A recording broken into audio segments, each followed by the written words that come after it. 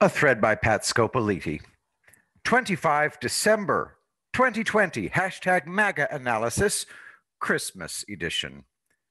The Great Reawakening, a renewed dream of America. General Flynn tells me the joy of the MAGA movement has returned. Our Christmas gift is a renewed dream for America. In case you didn't know, it's his birthday too. He's a Christmas baby. He tells me that there's a new spirit of patriotism that has arisen. Of course, we are his digital warriors, and that's a gigantic thing, far more important than has been understood in general. It marks a new era of participation. Citizen journalists, he names us. I, for one, am thrilled to share this Christmas morning with all of you, right here in my office in my home. It was a surprising gift this morning when SPE Flash, Steve, named me as part of the new media. I never had that thought before this morning. And look at the beautiful presentation Steve gives us in a flash. His image is of a strange new creature called Lincoln Trump and his list of years 1776, 1861, 2020. Steve, just that list of years is a gift to us this Christmas morning. Thank you. I'm very earnest in proffering Steve's gift to every MAGA movement member. Each of those years was a grave moment of historic challenge truly unique moments, change points, turning points, transformational forces unleashed and won by America. What General Flynn emphasized was this incredible fact we won in a massive landslide. We won the 2020 election with a stunning voice of clarity in support of President Trump, and victory must be celebrated. Gifts must be unwrapped.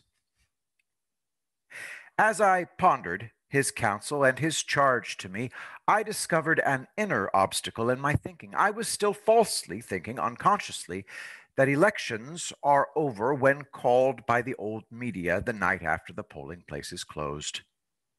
I cannot, cannot too strongly emphasize the propaganda benefit of this programming.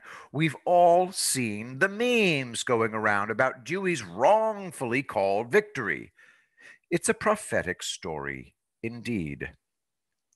I quote extensively. Quote, Many of America's major newspapers had predicted a Dewey victory early on in the campaign. A New York Times article editorialized that if Truman is nominated, he will be forced to wage the loneliest campaign in recent history. Perhaps not surprisingly, then, Truman chose not to use the press as a vehicle for getting his message across. Instead, in July 1948, he embarked on an ambitious 22,000 mile whistle stop railroad and automobile campaign tour. At every destination, Truman asked crowds to help him keep his job as president. His eventual success in the election of, 18, of 1948 has been largely attributed to his direct interaction with the public and his appeal to the common voters as the political underdog. At the end of one of his campaign speeches, voices in the crowd could be heard yelling, Give him hell, Harry! It didn't take long for the phrase to catch on and become Truman's unofficial campaign slogan. Give him hell, Donald! It wouldn't be difficult, difficult to flip out a few of the 1948 facts, flip in some 2020 facts, and the same story would be simply spot on. I often complain about how my great friend, John Stancic, not only forces me to read things I didn't plan to, but defeats me in heated debate. He's a very dangerous man. I'll beat you to the punch, John. Yes, I will reread. Unfreedom of the Press, Mark Levin, link in the thread to the Amazon purchase place. But from my first reading, I can say I do not recall this particular story being emphasized all the way back in our history. How is it that the old media gained this extraordinary, extra constitutional power? How did they become the arbiters of our electoral outcomes? I should say, pseudo arbiters, even false arbiters. And how did we ever come to think of a presidential election as a one day affair? However, and whenever that occurred, and perhaps it was a slow evolution, it was perhaps the greatest propaganda victory in history. I'll take a stab at guessing.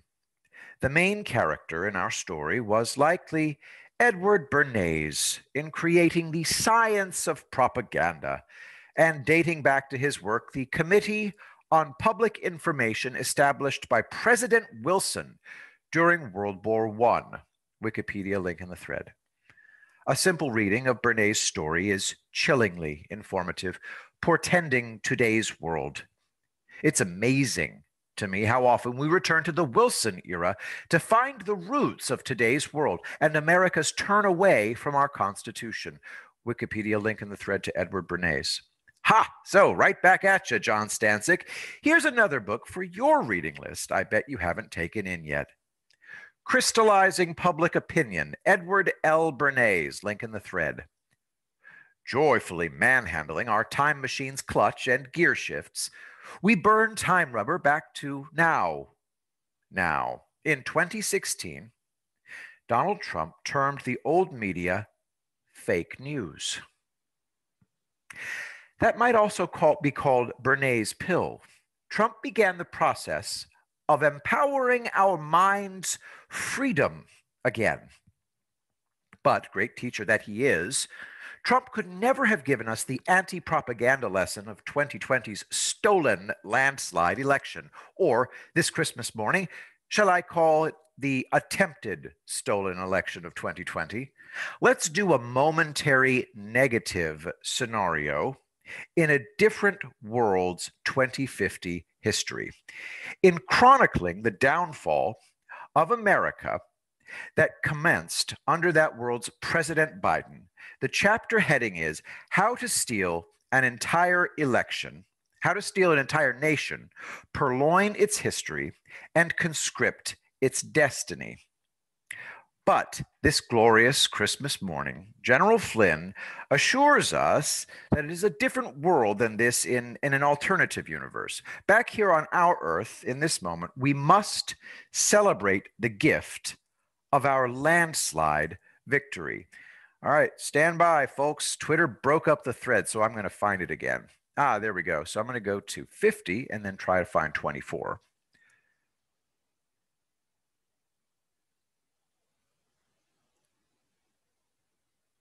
Ta da! Question What day has POTUS invited us to join him at Washington, D.C.? Answer January 6th. Question What day is that religiously? Answer On the 12th day of Christmas, January 6th, we celebrate Three Kings Day. And for further joy for all who embrace prophetic symbols, what astronomical event took place in 2020? Answer The return of the Christmas star. So, my three gifts that I'm unwrapping with childish joy this morning are these patriotic realizations. One, elections are not over on the day of voting. Two, the media does not arbitrate victors and losers. Three, the entire election process belongs to we the people. Picture a 12 year old Pasquale discovering that under the Christmas tree in 1972 were a sword, a spear, and a shield. Can you feel my almost adolescent heart rate increase, my breaths deepen, my arising manly soul within stir? Who played cowboys and Indians? I often chose to be an Indian, and my people defeated the evil cowboys. Offer me a white hat and a couple of pistols and a five point sheriff star. Well, you could win me over. Go to West Point and observe respect for American Indian warriors. We came out of the Civil War a depleted and exhausted people, today's greatest fighting force in the world, hearkens far more to our Indian wars than to the Civil War. They were honorable warriors, and they forged us into the fighting nation we are. Honor to them. That's part of the hellacious problem with today's enemies within. They have no honor. The American Indians were fighting for home and hunting grounds and for their existence and way of life. Today's enemies within are fighting to destroy our own home and way of life. For today, though, let us leave our enemies within as the fanciful imaginings of a young boy play fighting with his Christmas weapons. In my own actual voice, as an aging adult, I have a similar small story to share. In a previous home, I used to practice my sword work on my driveway, and I called it the most demon free space in America. When I practice with my sword, I employ a meditation. I find my inner demons, my worst vices, and greatest weaknesses. I externalize them. I'll explain. You won't believe me, but one of my greatest vices is laziness, slothfulness. It's true. Moral turpitude is one of the greatest sins we make we may make, crimes in fact by law. I have named my inner demon of sloth by that name, though. His name is turpitude. When I practice, I picture turpitude in front of me and I slay him. Like in any video game, of course, he arises again and must be slain again. Thrust, you're dead, vile demon. Ha! He rises again and takes his stance. Thrust! And so it goes. On a cold, December morning, one year, probably 2011 or 2012, I was fighting my demons mightily, and the most amazing thing happened. An ancient, scarred, and grizzled raccoon slowly marched up behind me and addled past me to my right, laying down about six feet from me. We never made eye contact, for this was no moment of physical communication. This is, I affirm, a 100% true story. Rather, it was a moment of spiritual communion, and one that left the greatest mark upon my soul. Seeing him lie down there, I simply continued my demon slaying practices, glancing at him from time to time. After about 15 minutes, I could no longer see or hear his struggling, gently gurgling breaths. At first, he'd heave some air in in gasps. He now wasn't and was still.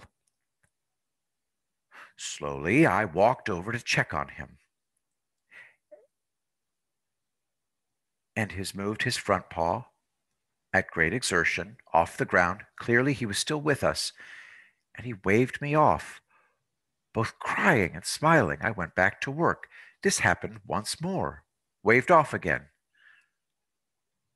I noticed my demons were doing better maneuvers after that, so I stopped, walked over, sat down with him about two or three feet away. It wasn't long before he breathed his last breath, and I swear I heard him say goodbye and thank you. But I don't speak raccoonese, so I'm not sure. My nameless raccoon warrior chose me and my driveway as his last resting place. Cold as it was, I did not fear for the condition of his corpse, and in honor left him right where he lay for the following three days. I imagined a fox or a vulture might come to attend his passing. None did. No other creature had the courage to face him or me. So on the third day I completed a burial and funeral for him, and he lay in my own grave of the unnamed warrior. He did not stay buried. The following spring I found his skeleton. It was unharmed. I gathered his bones and dug a much deeper grave from which I do not imagine he arose again, but one never knows in these matters. He still has a part of my heart right there with him. And no, I will never name him. He is beyond naming. Perhaps I may just name him friend. General Flynn tells me, very literally, that there is a new patriot warrior spirit rising in America as never before in our lifetimes. How may we not be grateful this Christmas Day in America we almost lost our honor as a nation. But imagine that word in its glory. almost. Here I offer you a fictional version of Davy Crockett in his mythological role from my childhood. I have seen the debunkers, and for a time in my young manhood I believed them. Today, I see the truth of this image. And I tell you, the debunkers stole this image from within my soul.